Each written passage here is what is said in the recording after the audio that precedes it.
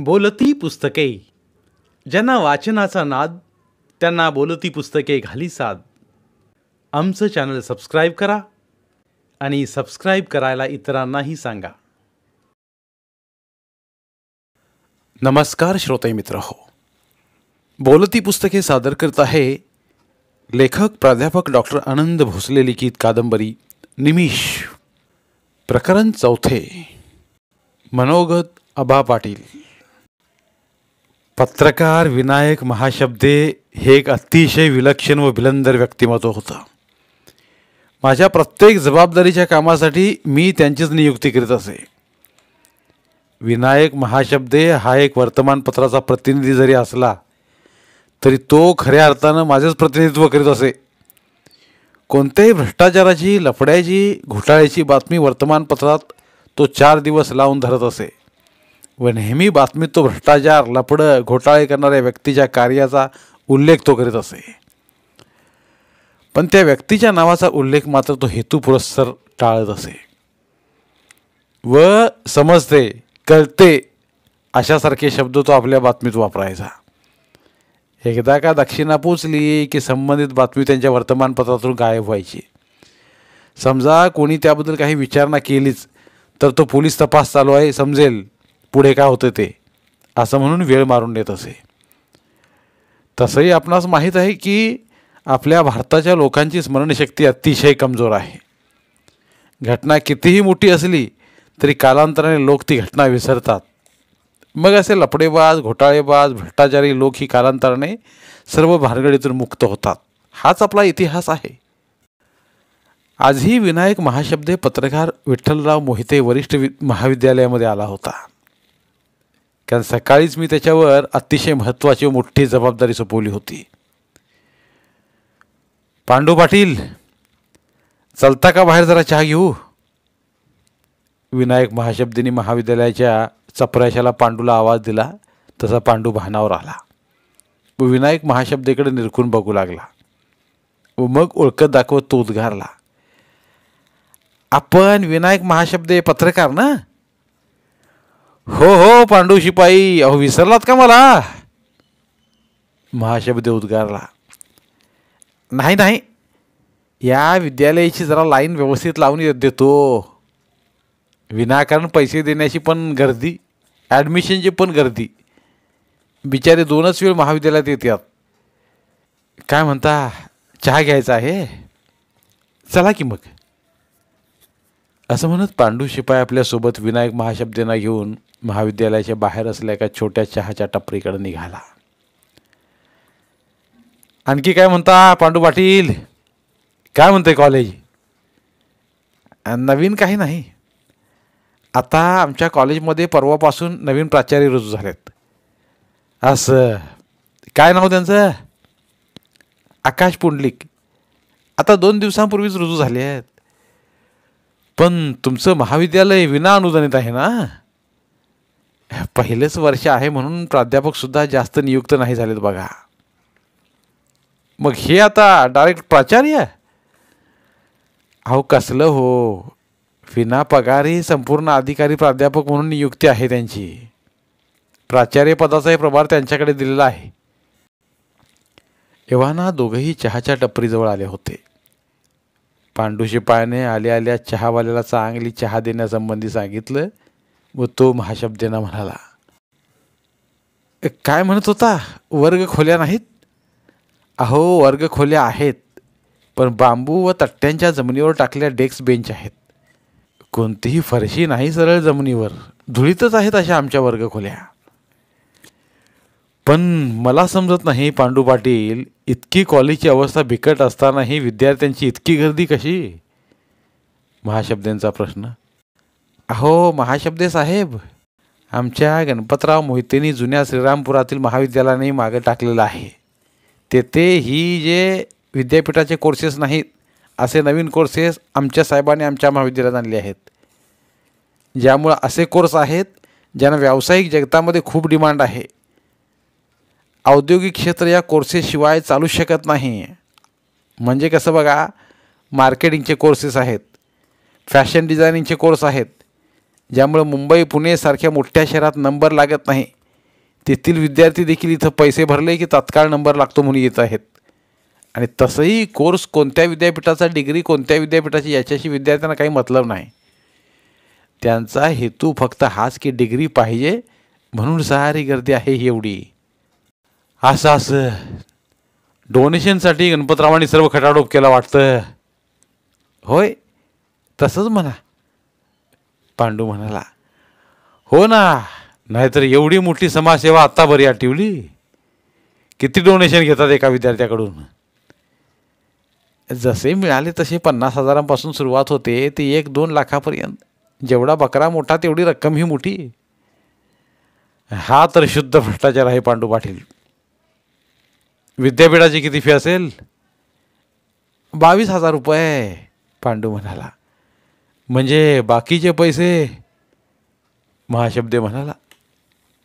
बाकीचं पैसे गणपतरावाच्या घरात. खिदी खिदी हसत पांडू उद्गारला. चहाचे घोट हळूहळू पित असतानाच महाशब्देच्या मनात एक स्टोरी आकार घेत होती. महाशब्देचे आज येथे येण्याचे चित झाले होते. व आबा पाटीलकडून खूप शाबासकी नक्कीच मिळणार होती.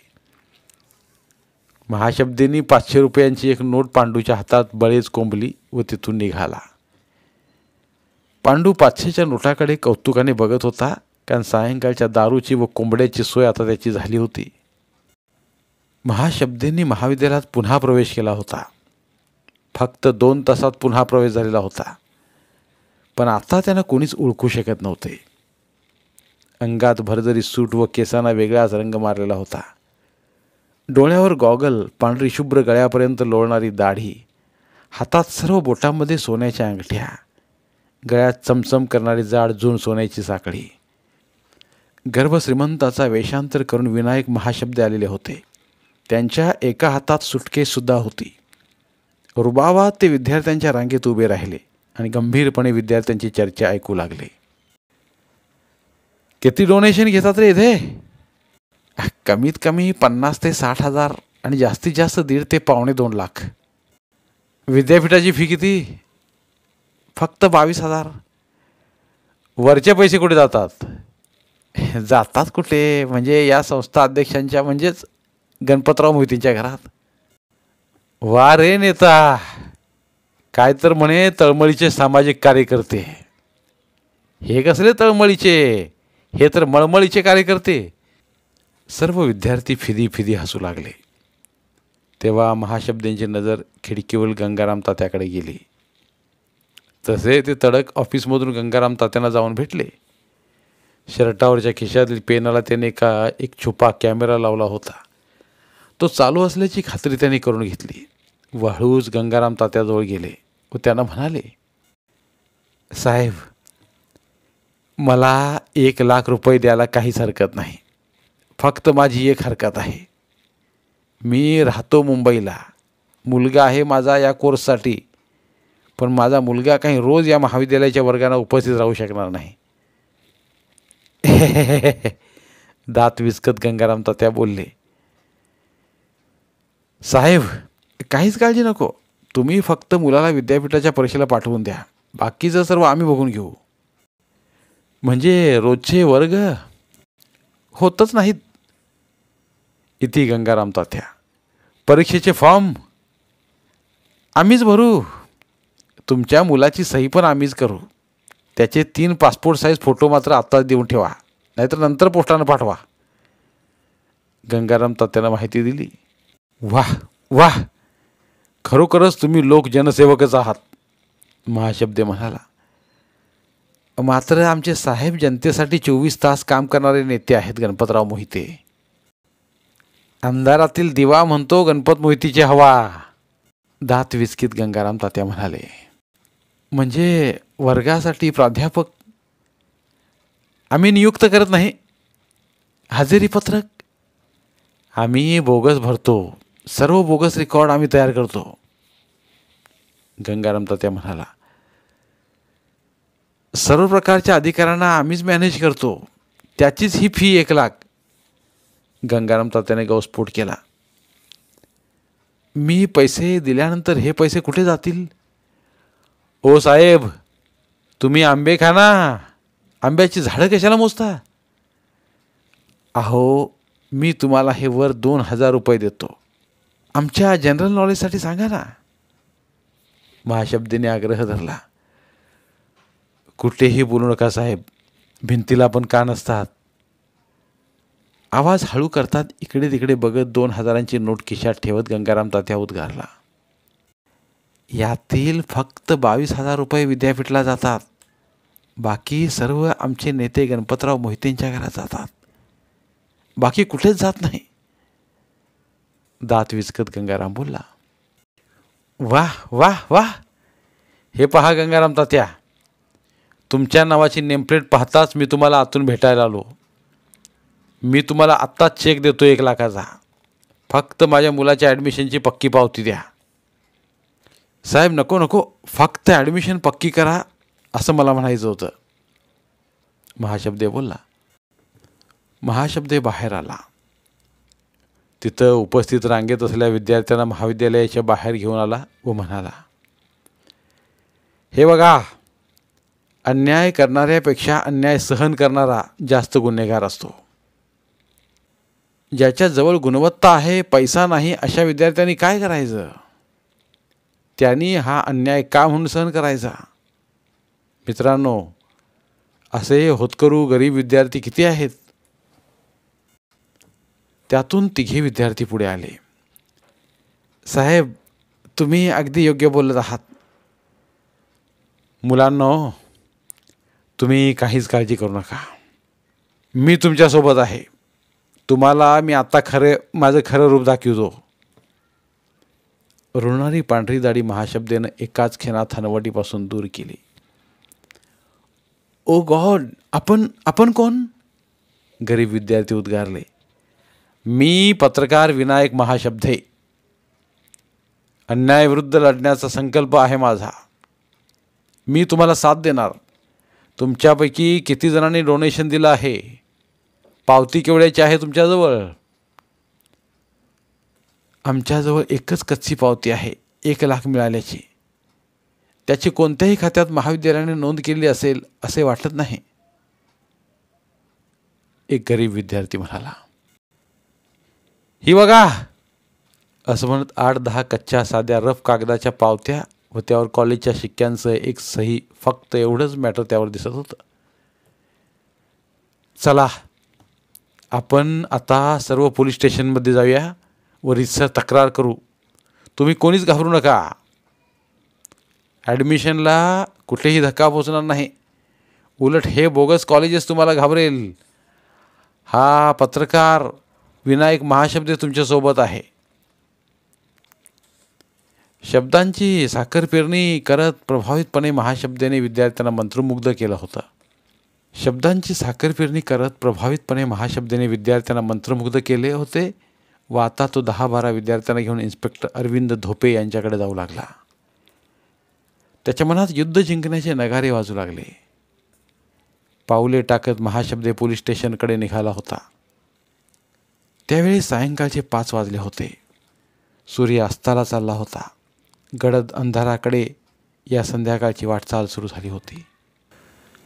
संध्याकाळी साडेआठ वाजता पोलीस स्टेशनमध्ये आठही विद्यार्थ्यांनी रीतसर तक्रार दाखल केली. सोबतच विनायक महाशब्देने आपल्या स्टिंग ऑपरेशनमध्ये उपयोगात आणल्या कॅमेराचेही प्रक्षेपण जोडलेले होते. एक जबरदस्त पुरावा पोलिसांना आता मिळालेला होता.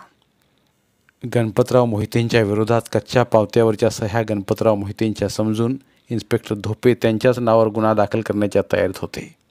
तेव्हाच ठाणेदार कुकडकरांनी त्यांना थांबवलं.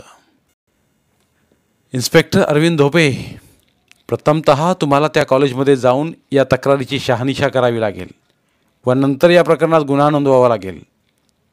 एवढी घाई करू नका. आपण कायद्याचे रक्षक आहोत.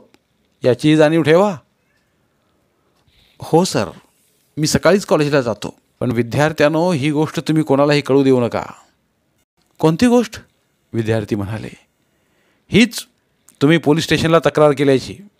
नाहीतर ही संबंधित मंडळी तिथून लागलीच फरार होतील व आपल्या हाती काहीच लागणार नाही. नाही नाही. कोणाला काहीच सांगत नाही. आणि जबाब तर तुमच्याकडे नोंदविलाच आहे. आता आम्ही आपापल्या गावी निघून जातो. गरज पडल्यास बोलवा आम्हाला. विद्यार्थी म्हणाले ठीक आहे. या तुम्ही आता. सर्व विद्यार्थी गेले होते. आपलं नाव? इन्स्पेक्टर अरविंद म्हणाला. आकाश पुंडलिक. वय?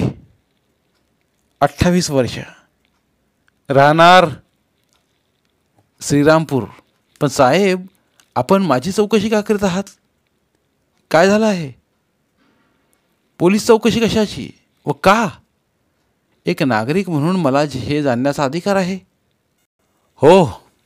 हे बघा. आपल्या महाविद्यालयात बरेच अवैध काम होतात. पैशाचा भ्रष्टाचार केला जातो. बोगस हजेरी बोगस प्राध्यापक या ठिकाणी दाखवले जातात. येथे कोणतेही वर्ग होत नाहीत व सरळ प्रशिक्षाच होतात. व कोणतीही रितसर पावती येथे दिल्या जात नाहीत. आपल्याच महाविद्यालयात ॲडमिशन घेतलेल्या विद्यार्थ्यांनी तक्रार केली नाही. ही कच्ची रसीद बघा. आणि सांगा ही सही कुणाची आहे? इन्स्पेक्टर अरविंद धोपे एका दमात बोलला. सही माझीच आहे. हे बघा. विद्यापीठाच्या रितसर पावती बावीस हजारांची पक्की नसद नंतर देत असतो पैसे आम्ही महाविद्यालयाच्या इमारत कार्यालय बांधकामात खर्च करीत असतो. असं काय तर दाखवा कोणते बांधकाम आपण सुरू केले? किती वर्ग खोले आपण बांधल्या व किती पैसे खर्च केले? दाखवा किती तुमच्याजवळ शिल्लक आहे? हे बघा साहेब मी एक गरीब बेरोजगार युवक. नोकरी मिळत नव्हती म्हणून या विना अनुदानित महाविद्यालयात दोनच दिवसांपूर्वी रुजू झालो. हे सर्व व्यवहार आमच्या संस्थेचे अध्यक्ष माजी आमदार गणपतराव मोहिते साहेब बघत असतात. आकाश व्याकुळ होत म्हणाला आम्ही त्यांना तर विचारूच पण ही सही तुमची हे तुम्हीच कबूल करीत आहात आमच्यासमोर. एवढं लक्षात ठेवा. आणि सोबत आणल्या दोन हवालदारांकडे बघत अरविंद धोपे म्हणाले यांचा जबाब नोंदवून घ्या व त्या गंगाराम तात्यांना पण बोलवा व त्यांचा जबाब घ्या. तेव्हाच एका आलिशान कारने तेथे प्रवेश केला. निळ्या रंगाच्या इनोवामधून गणपतराव मोहिते उतरले. आपल्या डोक्यावरची टोपी सांभाळत रुबाबात आपल्या केबिनकडे गेले. तसा अरविंद धोपे लगबगीने त्यांच्या केबिनकडे धावला. शिपायानं महाविद्यालयात पोलीस आल्याची वर्दी गणपतरावांना दिली आणि काही क्षणात गणपतराव गंभीर झाले व उसने हसू ओटावर आणून म्हणाले पाठवून द्या. धन्यवाद. उर्वरित कादंबरी पुढील भागात. धन्यवाद. बोलती पुस्तके श्रोते मित्रांसाठी मराठी साहित्याचा खजिना. फक्त एकोणसाठ रुपयात. फक्त एकोणसाठ रुपये माफक फी भरून आमच्या साहित्यरत्न या चॅनलचे सभासद व्हा व भरपूर मराठी ऑडिओ बुक्सचा आस्वाद घ्या.